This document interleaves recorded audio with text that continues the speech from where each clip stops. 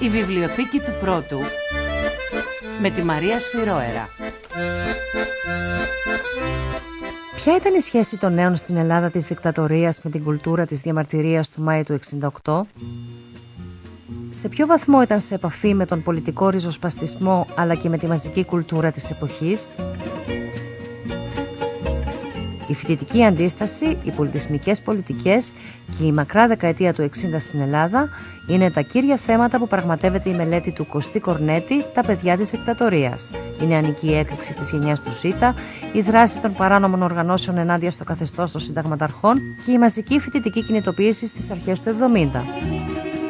βασισμένος στα γεγονότα και τους πρωταγωνιστές της εποχής, γνωστούς και άγνωστους, «Τα παιδιά της δικτατορίας» είναι ένα βιβλίο που θα θυμίσεις στους μεγαλύτερους και θα γνωρίσεις στους νεότερους όλα όσα σχετίζονται με τη γενιά του Πολυτεχνείου και τη δεκαετία του 60 και κυρίως είναι ένα κομμάτι της ιστορίας μας που θα διαβάσουν σίγουρα και οι επόμενες γενιές.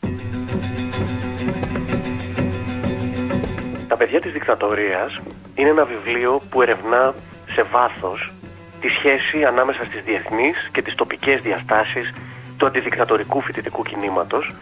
τονίζοντας τις ομοιότητες και τις διαφορές με τις εμπειρίες των φοιτητών στη Δυτική Ευρώπη και αλλού γύρω από το 68.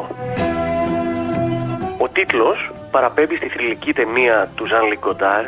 «Τα παιδιά του Μάρξ και της Κοκακόλα». Στόχος μου ήταν να βγάλω την ελληνική περίπτωση από τον απομονωτισμό της εξαίρεσης και να την εντάξω σε ένα ευρύτερο πλαίσιο νεολαίστικης διαμαρτυρίας των 60's ή αυτού που ονομάζεται μακρά δεκαετία του 60 και που εστιάζει όχι μόνο στις τομές που επέφερε η έλευση της δικτατορίας αλλά και στις συνέχειες που παρατηρούνται στον ευρύτερο μετασχηματισμό της ελληνικής κοινωνίας. Το βιβλίο εστιάζει σε δύο διαφορετικές πολιτικές γενιές τη γενιά των Λαμπράκηδων, που ονομάζω γενιά του Ζήτα, η οποία προέρχονταν κυρίως από αριστερές ή εργατικές οικογενειακές παραδόσεις και βίωσε τα πρώτα και σκληρότερα χρόνια της δικτατορίας στο Πανεπιστήμιο και την επόμενη γενιά, τη γενιά του Πολυτεχνείου, που ενηλικιώθηκε μέσα στη Χούντα και που συχνά προέρχονταν από αστικές και συντηρητικές οικογένειες και κατά κάποιο τρόπο έκανε μια διτή εξέγερση όχι μόνο ενάντια στο καθεστώς των συνταγματαρχών, αλλά και ενάντια στο ίδιο της το περιβάλλον και τα συντηρητικά ήθη της ελληνικής κοινωνίας των αρχών της δεκαετίας του 70.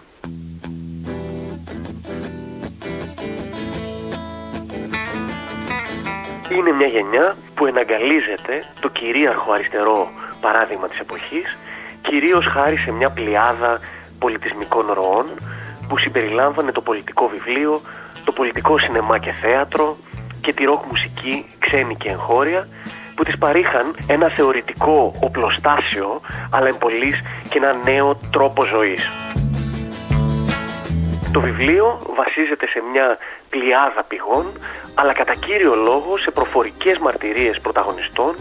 τις οποίες και αναλύει προκειμένου να προσεγγίσει τη βιωμένη εμπειρία και την προσωπική μικροϊστορία των νέων της εποχής. Τέλος, το βιβλίο προτείνει μια πιο προσεκτική ιστορικοποίηση της εποχής της δικτατορίας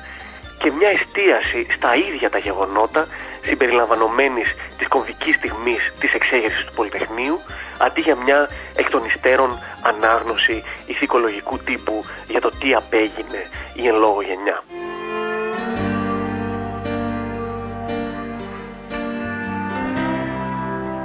Ο Κωστής Κορνέτης σπούδασε ιστορία και πολιτικές επιστήμες στο Μόναχο, το Λονδίνο, το Παρίσι και τη Φλωρεντία.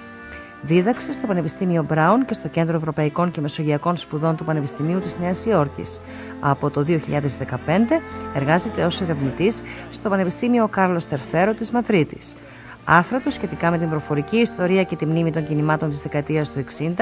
τα αυταρχικά καθεστώτα στην Νότια Ευρώπη και τη σχέση ιστορίας και κινηματογράφου έχουν δημοσιευτεί σε επιστημονικά περιοδικά της Ελλάδας και του εξωτερικού.